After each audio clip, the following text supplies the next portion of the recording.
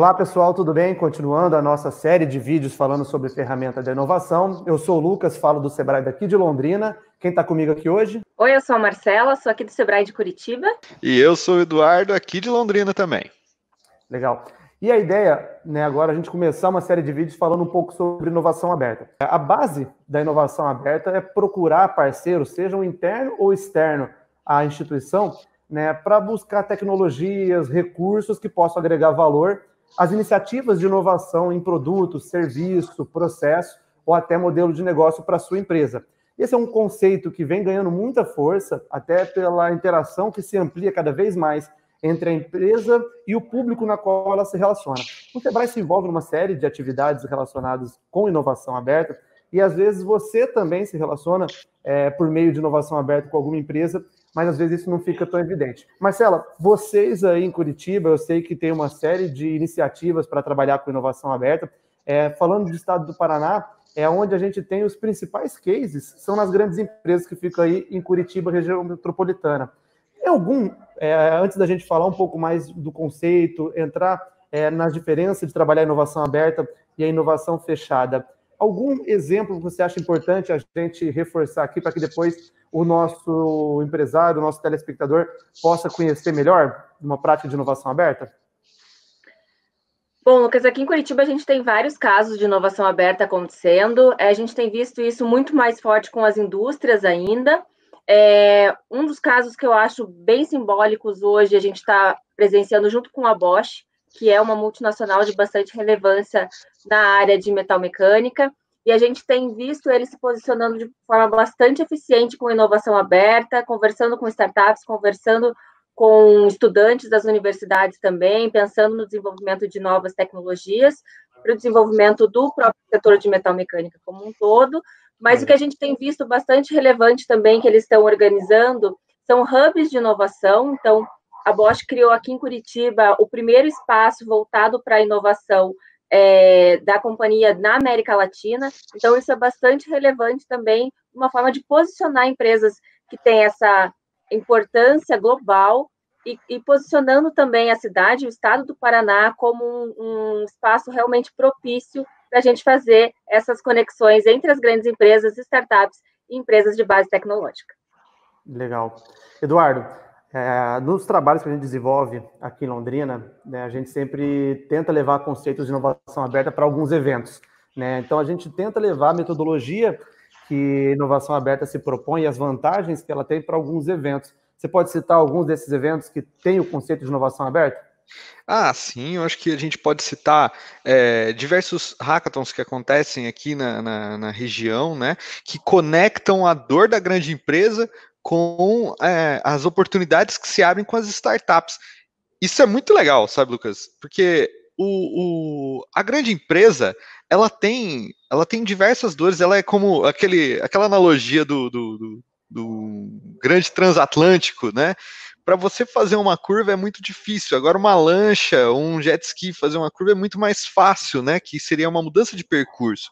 E por que não as startups apoiarem essas, essas empresas nessas tomadas, né, nessas mudanças de rumo, né? Eles têm diversas dores, eles têm diversas necessidades, e aí a gente consegue, é, as startups conseguem apoiar isso. Aqui em Londrina teve, tem o, o, o espaço, peraí, nesse momento daquela cortadinha, deixa eu só lembrar uhum. que o do agro, né? O, o... Smart Agro, né? O, Smart, o, o, o, o Hackathon ou o Hackathon Smart Agro? Tá, vou falar então do, do Smart, do pavilhão Smart Agro, né? Pavilhão Eu acho que é muito.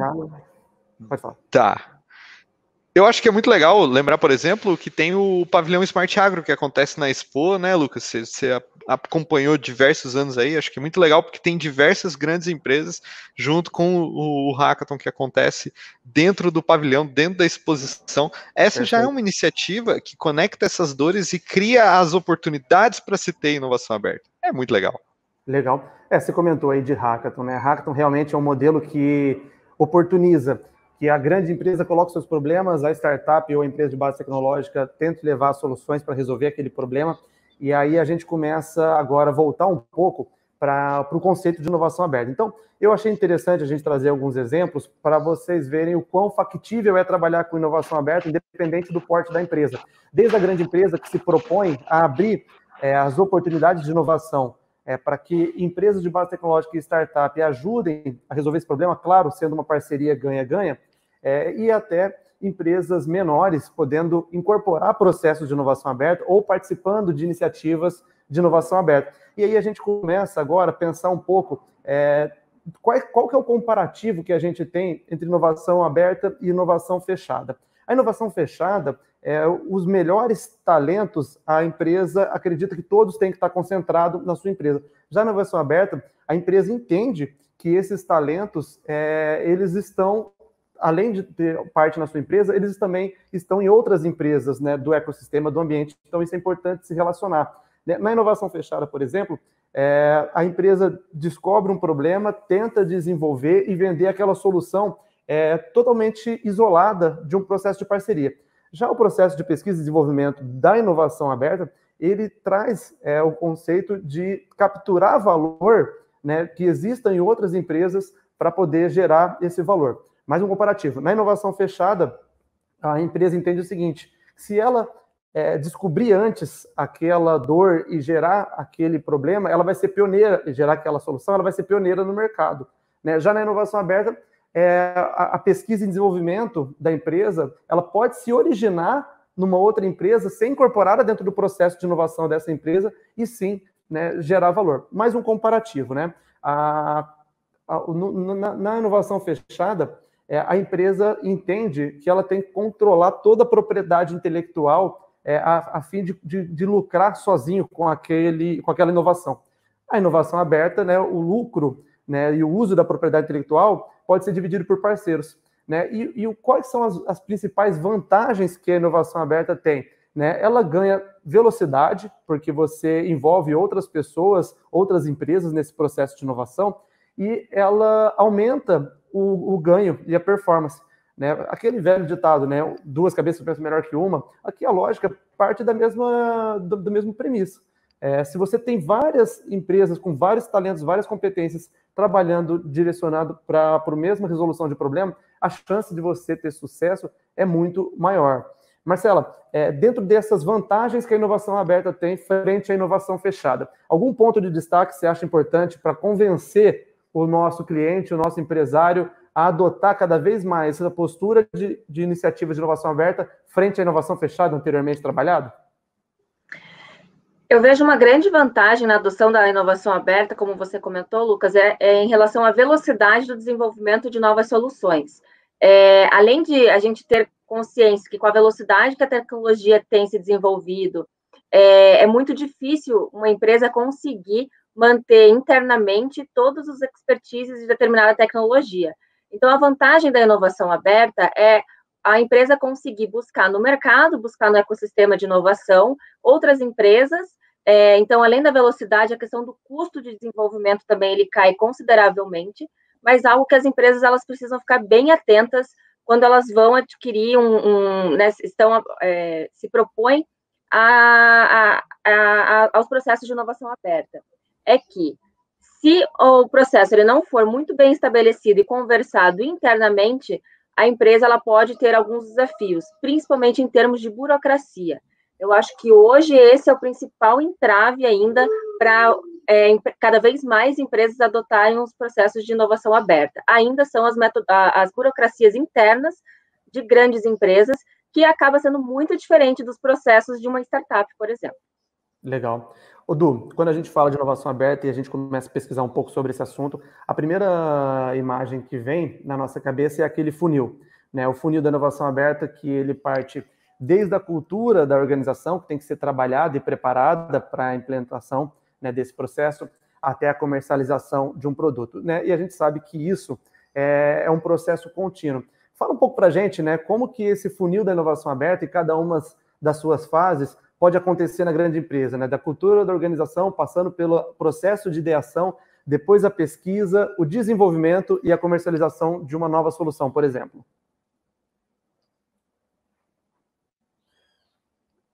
Seu microfone vai estar fechado, Du.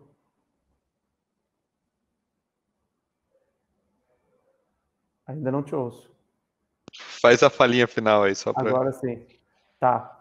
É, bom, tava, tava focado. Ah, não, no final tava focado em nós três. É. Então, eu tenho que ter um corte. Então, vou, vou voltar tudo isso aqui, essa parte. Será que é melhor? Não, ou, ou faz o seguinte. É. ah, Pra você não entrar nessa parte, eu queria falar da, da. Assim, se você consegue falar da vantagem do pro micro, pro microempresário se envolver Tá. nesse processo. Tá, então vou jogar essa para você, depois eu jogo para Marcela essa do funil. Beleza. Então tá. A Marcela terminou. A Marcela terminou. Você quer que eu que jogue pra você essa do funil? Não, faz o seguinte, você joga para Marcela. Beleza, eu jogo. Beleza. Joga para Marcela do funil, aí ela fala um pouco assim dessa desse processo, né, de começar, né, um processo de ideação mais amplo e você ir afunilando para a parte de pesquisa, o desenvolvimento, até chegar à parte de, da, da comercialização. Então, eu vou, vou, vou para você, do falando da importância. O que você falou? Importância Da- da, da- micro- É, por que, que é, por que, que é importante a micro, microempresa ficar ligada nisso também, né? Tá, beleza. Hum, Não te ouvi, Marcelo. Quer que eu faça o bem bolado para você, já que eu falei da, da, da grande? E aí eu jogo, tipo, para você, Du. Pode ser. Só que aí nessa hora, como é que vai estar a imagem? Du? A gente vai ter que colocar uma imagem de fundo para representar, às vezes, o que a Marcela está falando, porque aí vem ela falando isso. é, Pode a ser. gente, a gente Aí eu deixa. deixo ela aqui grande também. É, porque aí quando vo- aí volta para a imagem, a gente, nesse momento, Fer, que vai nos Uhum. ajudar na edição, ou não sei quem, ela estava falando, falou um pouco, aí no final da fala dela entra uma imagem para Uhum. ilustrar qualquer coisa, quando voltar para ela, ela joga para o Eduardo. Du, Perfeito. só, só uma pergunta. Dá para ouvir o Bernardo gritando de fundo? Senão eu peço para Não. ficar Não. aqui. Tá bom. ouvindo nada. E se, te- se ouvir, Marcela, relaxa, não tá? É isso aí, É. faz parte. Pau na máquina. É.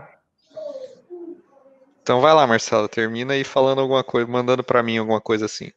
É, você pode falar assim, Tá. bom, eu falei um pouco de tal coisa, Eduardo, fala pra gente tal coisa. Tá, tá. Bom, então esse é um processo que acontece normalmente com as grandes empresas. Mas, Eduardo, conta pra gente um pouco como que é esse processo nas micro e pequenas empresas. Elas também podem é, adotar processos de inovação aberta? Olha, eu acho que sim, Marcelo. É bem legal mencionar isso, porque assim, é, quando as micro e pequenas empresas, além das startups, se aproximam dessa, dessa pegada de inovação aberta, tem, tem vários benefícios, né?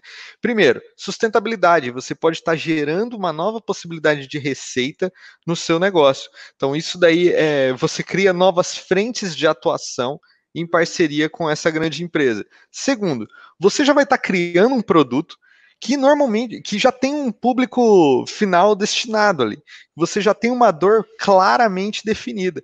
Isso é um benefício enorme. Aí é, é- é praticamente uma adoção de um processo de startup dentro de uma micro pequena empresa. Outra grande vantagem que eu vejo também é assim, que daí já, já misturando um pouco da grande com a pequena, é que o, o microempresário ele já sabe entregar ele já tem entregas já realizadas anteriormente. Então, é um cara que consegue é, cumprir diversos, diversas entregas, né?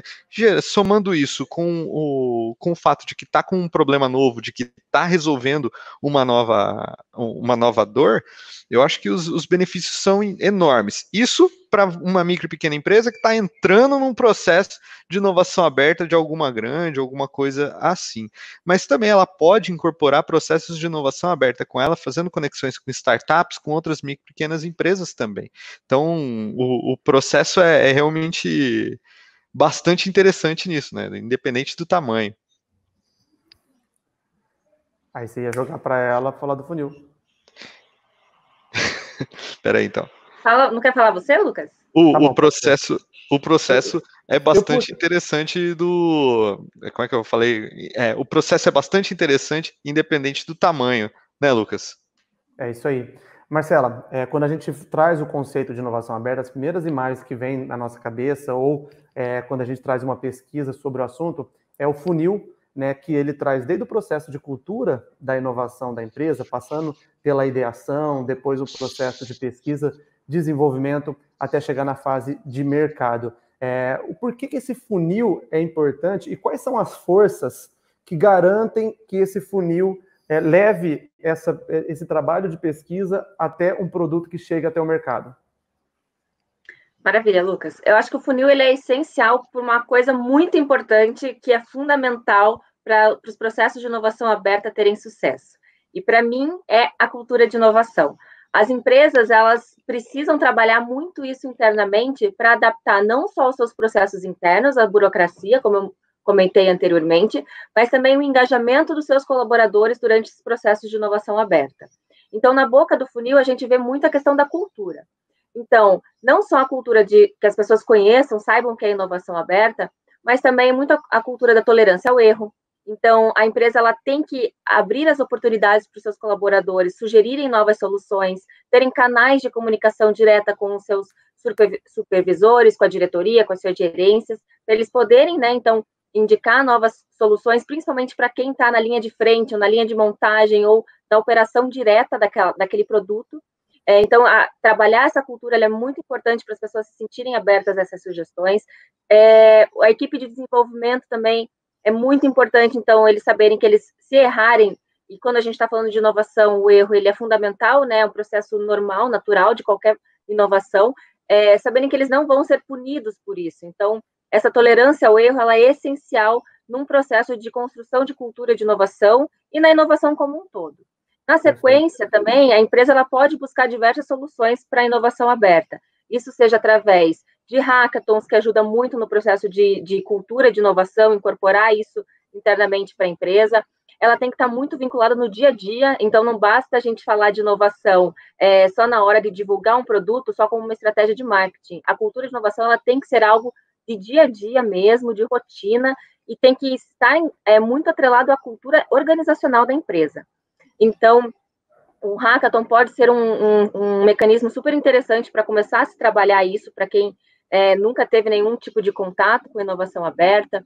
Na sequência, as empresas podem buscar desenvolver editais de chamamento público para desenvolvimento de soluções, é, um trabalho direto com as startups que já tenham soluções não 100% prontas, né, porque a gente sabe que as uhum. startups elas não criam soluções que tenham que se adequar perfeitamente a, a, um processo produtivo, né, de uma grande empresa ou de uma pequena empresa.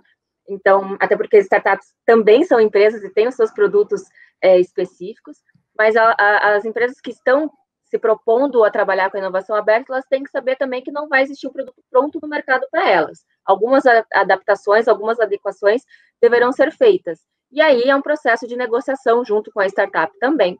E aí, né, a gente vê no final ali do funil a parte de venda mesmo, de chegar ao mercado.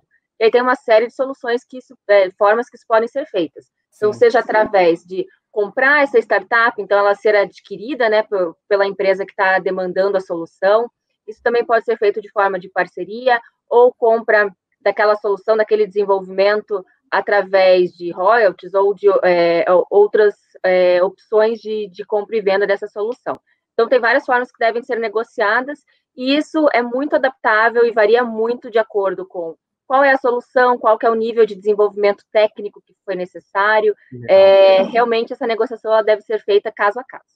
Perfeito. É, acho que você traz dicas aí fundamentais para uma empresa que quer iniciar um processo de inovação aberta é, e não tem ainda a expertise ou não quer se arriscar por um processo mais amplo é, se envolver em iniciativas de inovação aberta de outras empresas, começar a participar de eventos que têm o conceito de inovação aberta. Achei muito interessante essa sua sugestão. Então, assim, para a gente finalizar, é, vou colocar aqui cinco pontos né, de uma rotina de implementação de inovação aberta em uma empresa, porque depois a gente vai começar, né, nos próximos vídeos, estudar alguns casos. Vamos trazer para a gente discutir aqui com grandes empresas, vamos trazer também startups e micro, pequenas empresas que se envolvem em processos de inovação aberta ou em editais dessas grandes empresas, e vocês vão ver também que existem modelos que diversas empresas de um mesmo segmento se juntam para criar um programa de inovação aberta. A gente vai trazer alguns exemplos bem interessantes. Mas para uma empresa, né, quais são as macroetapas que um processo de inovação aberta exige? Então, Primeiro, para a grande empresa, ela identifica os parceiros ideais para esse processo de inovação. Na sequência, tem que se criar contratos né, e acordos de confidencialidade, porque isso dá garantia a todas as partes, né, ao sigilo, e a aproximação entre as equipes de desenvolvimento se dá nessa fase também. Depois, existe um detalhamento de um plano de trabalho, né, e claro que isso é muito customizado, é onde são definidas as estratégias, quais são as entregas, quais são os prazos, quais são os valores que vão ser investidos em cada uma das partes. Né? As próximas etapas são é, criar os contratos de cooperação técnica, aqui define-se as atribuições, é, a propriedade intelectual, como vai ser a exploração econômica dessa solução que está sendo desenvolvida, é, questões também de sigilo, divulgação, é, divulgações científicas e até a divulgação de mercado. E, por último, né, o desenvolvimento. O desenvolvimento seguindo, do, seguindo o plano de trabalho, e a cada avanço desse plano de trabalho, ele deve ser comunicado né, em todos os parceiros envolvidos como macro entregas. Então, eu passei aqui quase todas essas informações que a gente está colocando aqui, principalmente isso que são algo mais instrutivo, nós vamos colocar aqui no post. Então, aqui embaixo do vídeo deve ter uma série de informações que a gente vai colocar. E esse vídeo está sendo transmitido aqui no, na comunidade Sebrae, né, que é o grupo de empresas inovadoras. Então, toda semana você vai ter um vídeo novo aqui, né, nós três, né, trazendo um pouco de conteúdo para vocês e também é, a participação de empresas trazendo seus cases. Marcela, você já tem, quer adiantar, dar spoiler para a gente aí? Quem vai ser a grande empresa que vem conversar com a gente? Não vou dar spoiler, vai ser surpresa. Tá bom. E o Eduardo depois vai moderar com a gente também aqui, é, trazendo a experiência das startups e das micro e pequenas empresas que se envolvem com inovação aberta também. Pessoal, legal. Por enquanto, o nosso, a nossa ideia era trabalhar um pouco da base da inovação aberta para que vocês começassem a entender pelo assunto e a gente vai explorar isso em vários outros vídeos aqui no canal. Lembrando que toda semana tem um vídeo novo, acompanhe. Se você não está inscrito, não está participando desse grupo, aqui em cima tem um botãozinho azul de participar, compartilhe com seus amigos também, com outras empresas, sempre tentando trazer assuntos relevantes. Se você tem alguma sugestão, se você quer comentar também algo sobre isso que a gente discutiu, tem um, um chat de comentários aqui embaixo comenta lá que a gente vai responder e vai interagindo aqui, fazendo dessa comunidade Sebrae um grande fórum de discussão sobre ferramentas da inovação. Beleza? Pessoal, obrigado, até o próximo vídeo. Valeu! Tchau, tchau. Falou!